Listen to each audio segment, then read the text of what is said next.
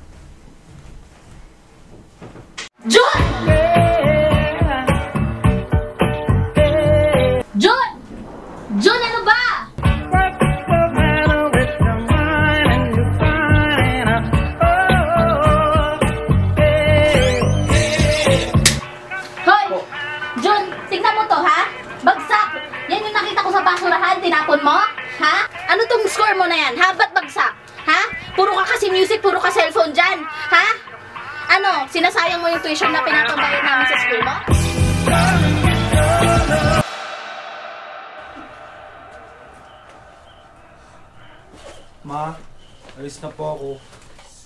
Oh, yung sinasabi ko sa'yo ha, makinig ka sa lessons mo. Bumawi ka ngayong SEM June. Opo. June! June! June! Mag, present. Anong present? Kamusta tayo sa attendance? Sabi ko, come here hear your name. Uulitin ko! June Avalos!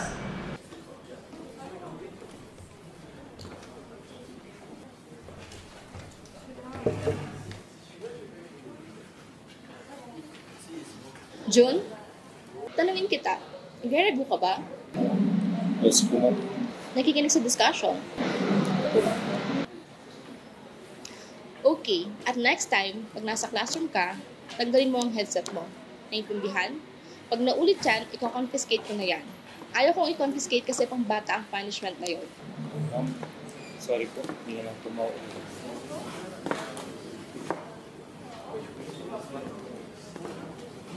Yan kasi, sabi sa'yo, huwag ka mag-headset pag nasa classroom. Oo nga eh. Uy, ano pala score na sa quiz 1? Ako 45. Like, da, dali lang naman. Yung, yung discuss mo, yun lang ginawa mo ba sa quiz? Oo, hindi nga ako nakapag-review.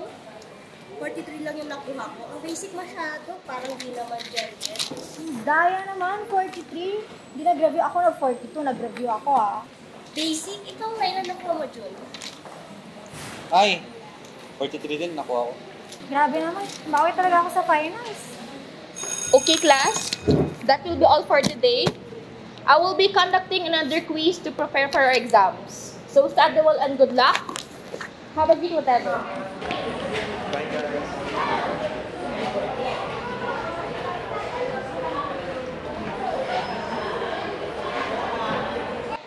Jun, dalihan mo. Gutom na kami. Ah, sige. Una na kayo. May pupuntahan pa ako. Sigurado ka? Una na pala kami, ha? Saan kayo tayo kain?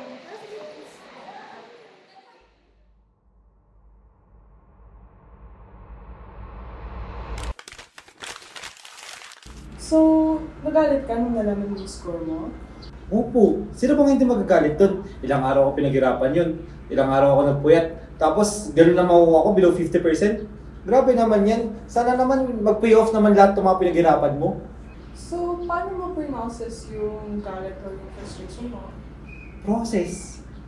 Parang wala naman akong ginawang ganun. Or ano yung ginawa mo after mo malaman yung score mo? Ano? Um, pumunta sa fountain.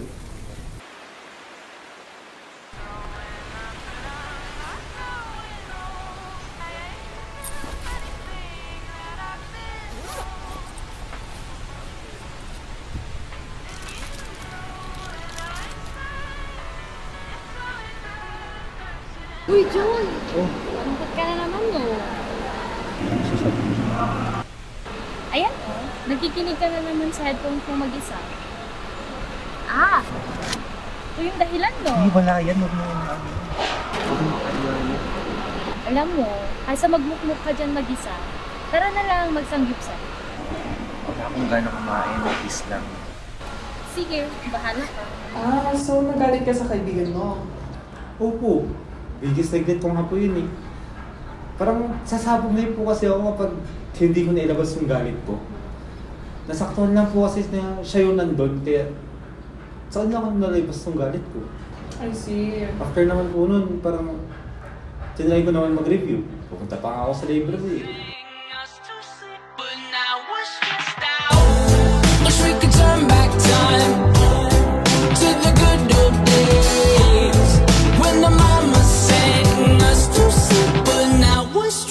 Kahit anong gawin ko po, hirap ako mag-study. Ayun, tinry ko sumama sa isang grupo. Oo, basta pag psychoanalytic yung pinag-usapan, yung kay Freud, yung hidden motives, yung mga repressed memories, sa kanya din pala yung blank screen approach, yung walang emotion para maka-transfer si client. Oo, tapos, pag yung concept naman is self-concept or anything on self-growth kay Rogers Newton. Rogers? Ano ko pa kay Franklin? Frank, you mean si Franklin? Si Franklin essential naman para pipili sa life. Si Rogers naman yung ikaw as a client ang makakapag-solve ka dito. Nabawan lang ng therapist. So si Franklin yun. Yung kay Freud naman, ano ulit yun? Kay Freud, ah, sa rewards ko yun? Hindi. Freud is yung may repressed memories, di ba? Id, ego, super ego. Natulang ko to ng first year. Sure ka ba? Nasaktan ako nun. Pinipilit ko talaga mag-review. Pero kahit anong mangyari, walang tumatalab. Ang sakit makitang tawanan ako ng mga kasama ko. Pero mas masakit malaman na napakadali sa kanila nitong concepts. Bakit ako nahihirapan?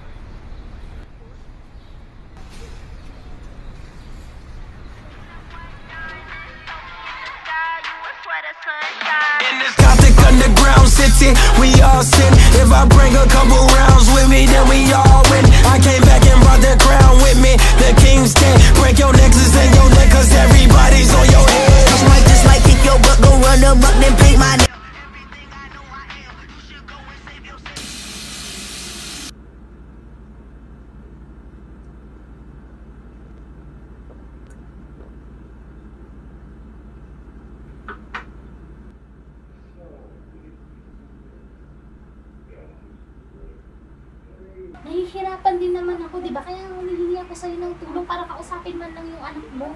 Eh di sana hindi tayo nag-aaway dito ngayon. Nandito ako, nagtratrabaho, nagpapawis para lang may madalang pitang ng pagkain dito sa bahay na to. College na si June. Dapat alam na niya kung gaano ka-importante ang mga grado sa kolehiyo.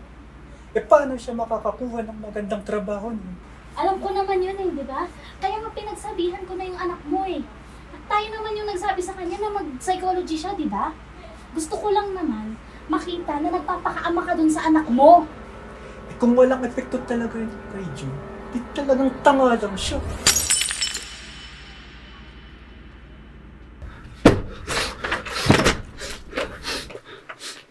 Jun!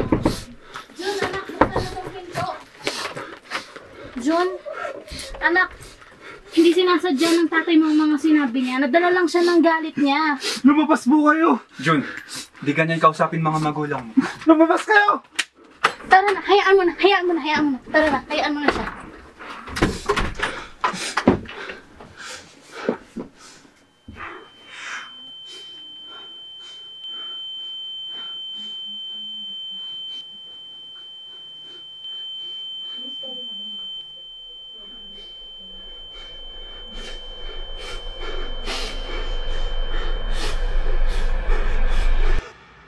Anong naramdaman mo nung narinig mo yun?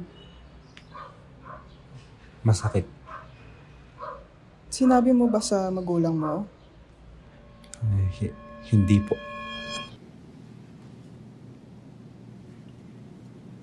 Uy, okay ka lang ba? Ilang araw ka nang tulala. Tsaka himala. Di ka na masyado nakikinig ng music ngayon. Subukan mo. Ha?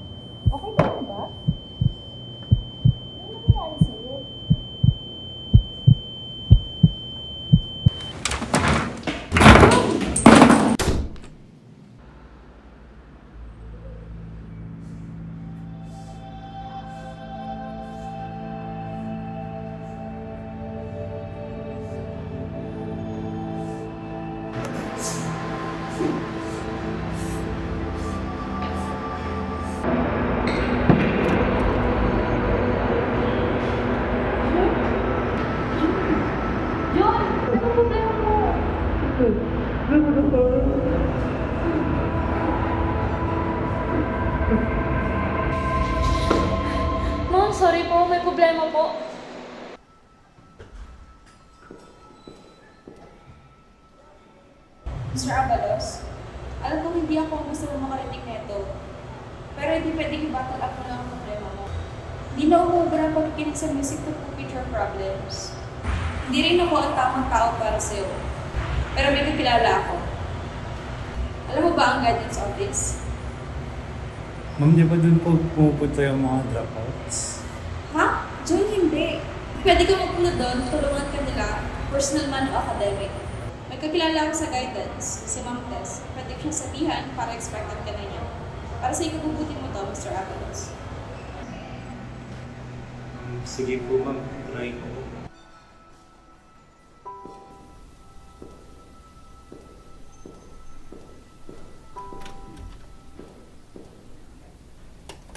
Doon po ako nakapag-isip na pumunta dito. So, At natuwa rin naman ako no, na pumunta ka dito kasi I know it takes a lot of strength and courage to be here and to ask for help. So, ang tanong ko ngayon sa'yo, after mo kwento yung mga nangyari sa'yo, anong nararamdaman mo?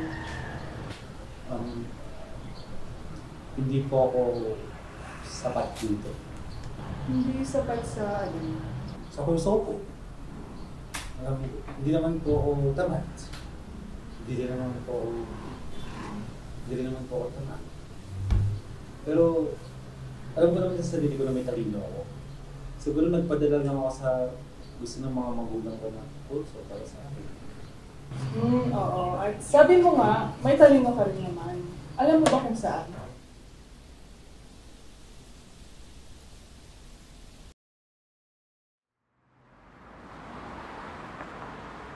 June, hi! Uy, Kasi, kamusta? Ito, long time nung siya. Parang may lakad ka. Ay, oo. Pupunta kasi ako sa guidance office ngayon. Ay, wow! Tsaka parang hindi na kita nagkikita sa Perfecto ah. Ay, kalimutan mo na ata. Nag-shift na ako. Engineering na to. Ay, oo nga pala, no? Tsaka, parang good mood ka today, ha? Hindi mo na din suot yung mga, yung headphones mo. Uy, salamat ah. Kasi kahit na masama yung trato ko sa'yo noon, naging mabuti ka pa rin kaibigan. Dahil doon nakatulong nga sa akin sila ma'am. Eh. Ngayon, alam ko na mag-desisyon ng tama. Mga problema ko, ganun. Ano ba? Siyempre, kaibigan mo ako. Tsaka alam ko naman yung feeling ng mapag-isa eh. Doon ako sa, ano, kakabuti ng well-being mo. Uy, salamat ah. Una na ako. May kailangan pa ako. Ah, sige, sige, sige. Lansun, ha? Ano? Good afternoon, June. This is Ma'am Tess, your guidance counselor from last time. How are you feeling? Ah, that's good to hear. I called because I wanted to follow up if you're enjoying your time as an engineering student. And now I want to ask, are you happy in your new course?